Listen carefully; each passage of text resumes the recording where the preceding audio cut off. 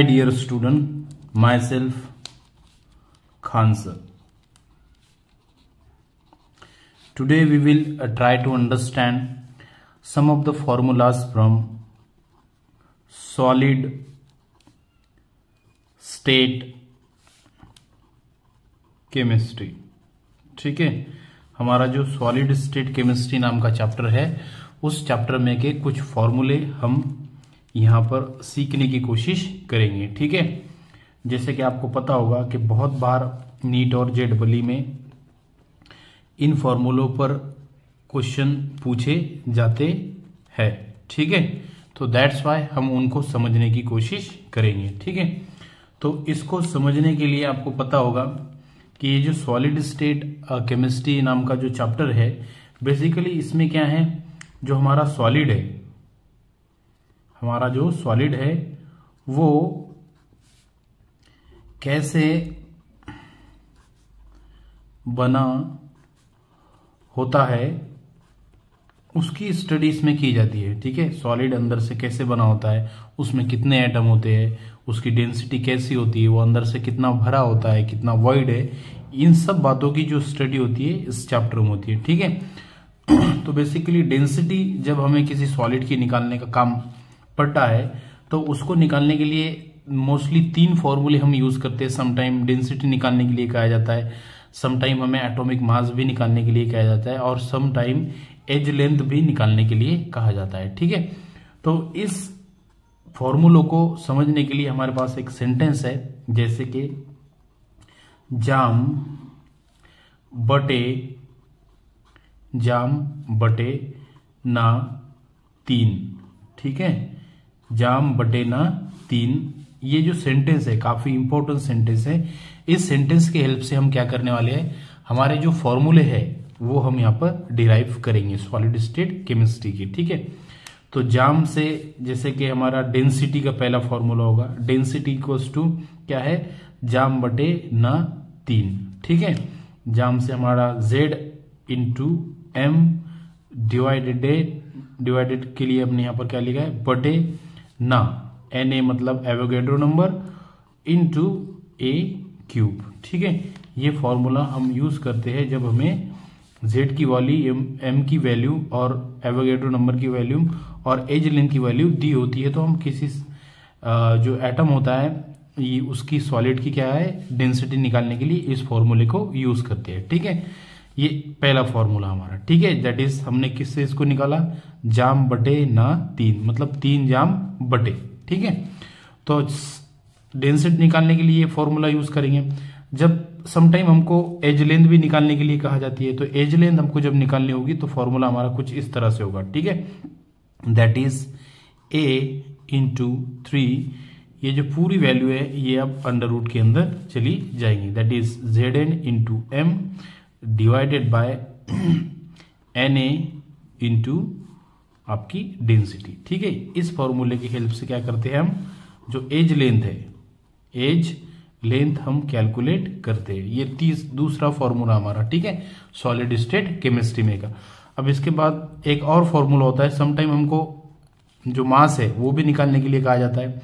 तो वो फॉर्मूला कुछ इस तरह से हो जाएगा हमारा m इज़ इक्वल्स टू ये जो पूरी वैल्यू है, ये सब ऊपर चले जाएँगे। That is N A into edge length into आपकी डेंसिटी डिवाइडेड बाय जेड ठीक है? इस फॉर्मूले से हमको क्या, हम कैलकुलेट करते हैं? दैट इज़ एम की वैल्यू मतलब मास ऑफ़ एटम जब हमको निकालना हो, किसी सॉलिड का जो मास हो, उसको अगर हमको कैलकुलेट करना है, जब हमारे पास ये सब वैल्यू दी हो, तब हम मास का निकालने के लिए इस फॉर्मूले को यूज़ करते हैं that is M is equals to Avogadro number into edge length into density divided by Z ठीक है? जेड की वैल्यू आपको पता है. That will be one two और फोर हो सकती है। ठीक है?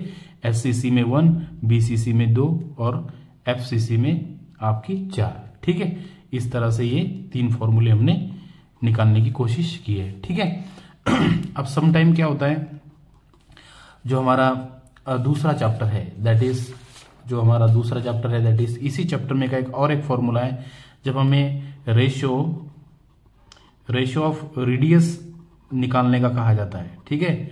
तो रेशियो ऑफ़ रेडियस निकालने के लिए हमको क्या करना है? That will be radius of cation divided by radius of anion ठीक है? इस फॉर्मूले की हेल्प से हम उसको कैलकुलेट कर सकते हैं, ठीक है? ये हमारा फोर्थ नंबर का फॉर्मूला हो गया, ठीक है? रेडियस ऑफ़ कैटाइन निकालने के लिए, अब रेडियस ऑफ़ रेडियस रेशियो निकालने के लिए, जो एटम होगा कैटायन और आयनायन का, जब रेडियस निकालना हो तो हमको radius of cation divided by radius of anion इसके हेल्प से हम इसको निकाल सकते हैं, ठीक है? तो इस तरह से चार फॉर्मूले हो गए। अब सम टाइम क्या होता है, जो हमारा केसी है केसी मतलब ये दूसरे इक्विलिब्रियम नाम कांस्टेंट ठीक है? तो इक्विलिब्रियम कांस्टेंट जब हमको निकालने के लिए कहा जाता है, अब ये दूसरे चैप्टर से हमने लिया है, ठीक है इसको? So that will be KC क्या हो जाएगा हमारा? That will be concentration of product ठीक है? Divided by concentration of reactant ठीक है? तो इस तरह से आप केसी की वैल्यू निकाल सकते हैं, ठीक है?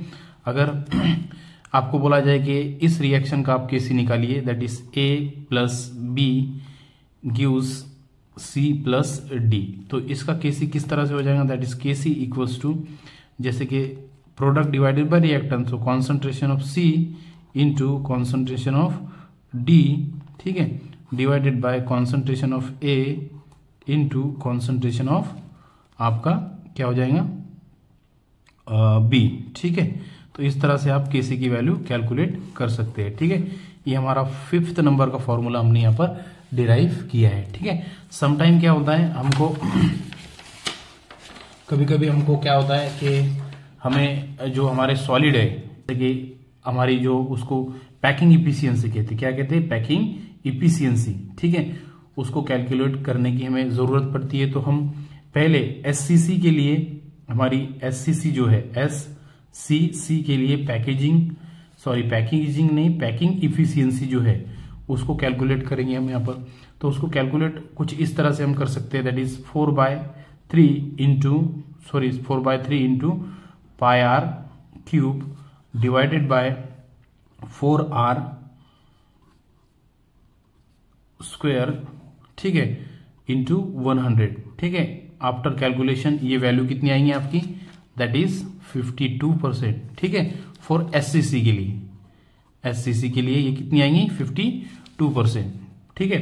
अब दूसरे सिमिलरली हम इसी को क्या कर सकते हैं? आपकी बीसीसी के लिए भी कैल, कैलकुलेट कर सकते हैं। उसका फॉर्मूला क्या है? That is two into that is number of atom present in crystal ठीक है?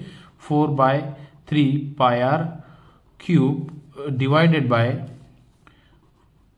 four pi cube divided by under root three ठीक है?